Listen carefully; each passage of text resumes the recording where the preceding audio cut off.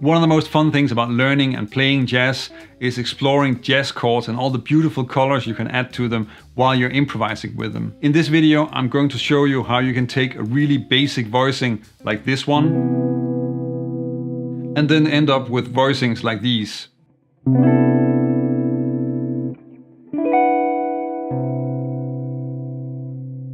And this is also a great way to start learning how to make your own chord voicings, really explore the harmony and learn the fretboard better. My name is Jens Larsen, learn jazz, make music. The first thing to do is to build a foundation, to just have a basic version of the chord so that we know how that sounds. And in jazz, the core sound of a chord is usually determined by the third and the seventh. So shell voicings are a great place to start because here we have the root, the third and the seventh.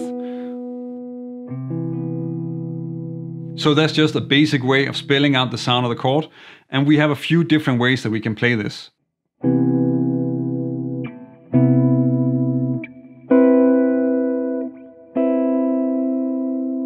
The first two are really useful if you're comping, especially if you're playing without a bass player and the second two are really useful as upper structures, something that's going to become more important later in the video. When we're exploring major 7 voicings like we are in this video, then one thing that's really useful to also notice is that whenever you want to play a tonic major chord or a major 7 chord, then you can also most of the time play a major 6 chord.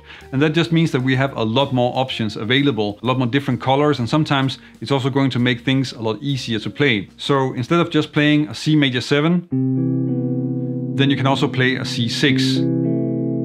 And some practical C6 shell voicings would be something like this.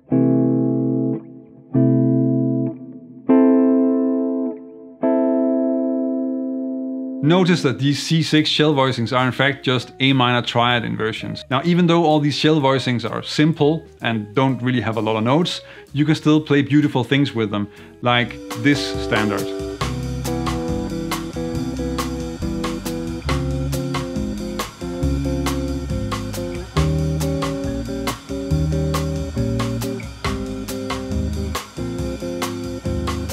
The next thing to do is to add some more colors to these voicings. Since shell voicings both sound great and are very practical three-note voicings, then it makes sense to expand on them by just starting to add some extensions or some extra notes to them. And that's actually fairly easy to do if you start with basic voicings like this. The first version of the shell voicing is of course just C, E and B.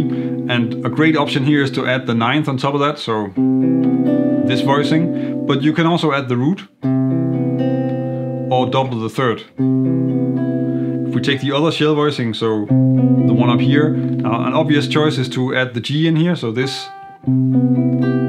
But you can also turn it into a C major 7 with a 13 like this. Or even a C major 7 sharp 11 like this. And the way that I'm adding more notes and extensions to these chords is really simple because I'm just playing the shell voicing and then looking at what is available around it, what's playable, what sounds good. Let's check out how this sounds if you use it on a song. And if you use these voicings in a song, then you could get something like this.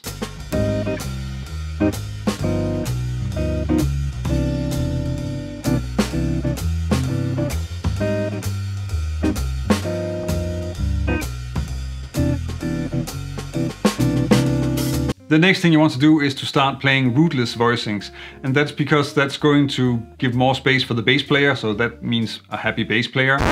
But it also frees you up to create more movement and add more colors to the jazz chords that you're playing, which may result in a less happy bass player. If we focus on this voicing from the previous section, the upper structure of this chord voicing is an E minor triad. So if we throw away the root, then we have B, E and G which is a second inversion E minor triad. Now this is not that strange at all because if you look at a C major 7, then that's C, E, G and B. And of course the three upper notes here is E, G and B. That's an E minor triad. So this means that we can now just throw away the root, leave that to the bass player, and then we can play just the E minor triad. But then we can also play the inversions. So that means that we now have these three voicings.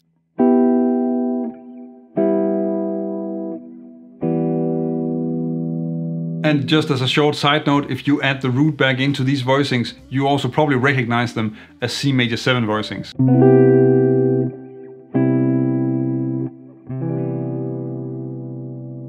Comping with these smaller, more compact three note voicings is in fact a lot easier and actually also sounds a lot better. And if you want to explore all the endless possibilities that you have with uh, triad voicings and how you can use them for jazz chords, then I'm linking to a video in the description that goes over that. Here I'm just gonna show you how this sounds, so let's check out how you can comp Ladybird using triad voicings.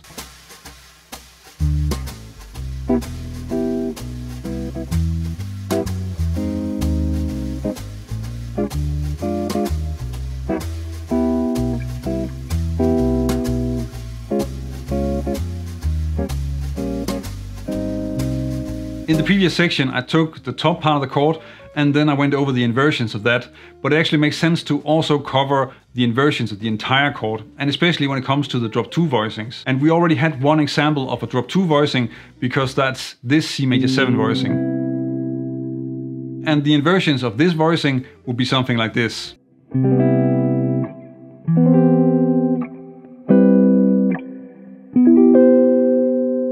And it makes sense to also check these out on the top string set because there they're extremely useful.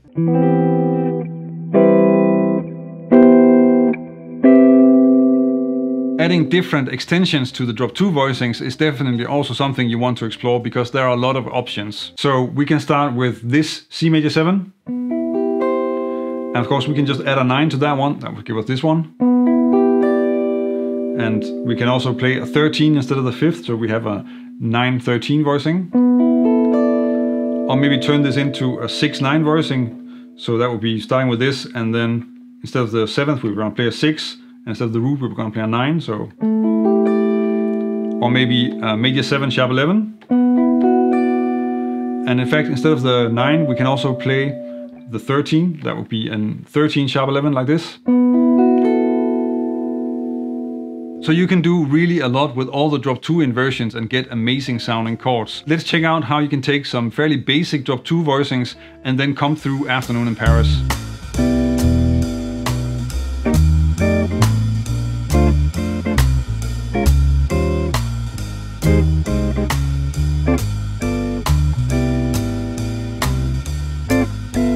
As you saw already in the section with the triads, then if you take the top part of the voicing and then make some inversions, then you get some really useful sounds that you can do a lot with. And actually you can do this also when the top part of the chord is not a triad. So an obvious choice here would be this chord voicing.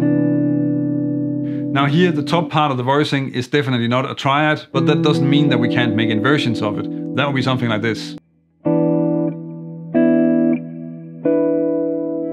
And these all work and sound great as major 7 9 voicings, but you can also add some colors to it. That would be something like this. If we start down here with this inversion, we can add the sharp 11 on top. We can also add the 13. For the next inversion, then the 13 is an obvious choice like this, which is also a great sound with this sus4 triad on top. You could also make a version with the root, but that's not a really great sounding voicing. Then for the final inversion here, we don't really have that many options because most stuff was just going to be doubling things that are already in the chord. So the sharp 11 is probably the best option. And of course, all these colorful chords sound amazing on a standard like this.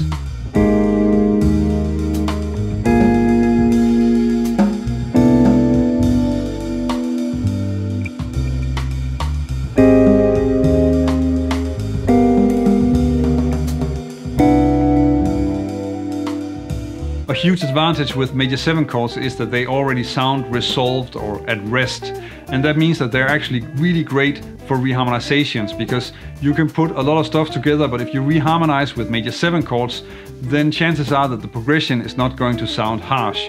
If you want to see how this works and how you can really reharmonize a lot of different progressions using major 7 chords, then check out this video.